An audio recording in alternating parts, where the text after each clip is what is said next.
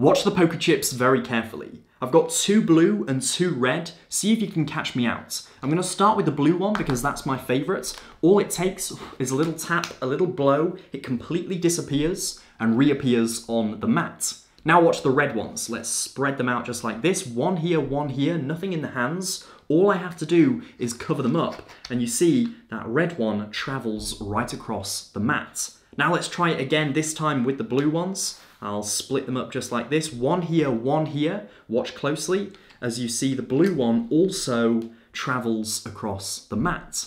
Okay, I said blue was my favourite colour. I really don't like the red ones, so let's transform that into a blue one. And we'll take this one, we'll sandwich it between two of the blue poker chips, just like so. And with a shake, you see it actually also turns into a blue poker chip. If you enjoyed this, make sure to hit the like button and follow for more fun stuff.